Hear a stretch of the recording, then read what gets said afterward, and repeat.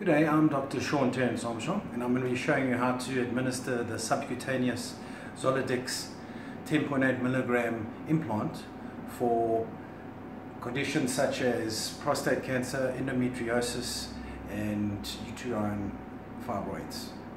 So we're going to begin by settling the patient, marking out the area below the navel line,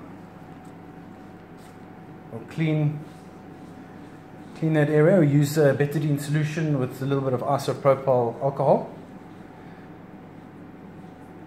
And then dab dry. A circular outward motion. Then with the syringe you'll see it comes with a pre-filled implant. Simply take off the front cap remove the, the distancer. And then when you implant it make sure you go in at a 45 degree angle and give it a slight push.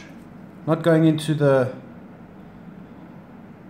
into any of the, the muscle. And as you apply pressure it'll click and pull back. And then just make sure injection site doesn't bleed apply pressure. Just pop a plaster on there. And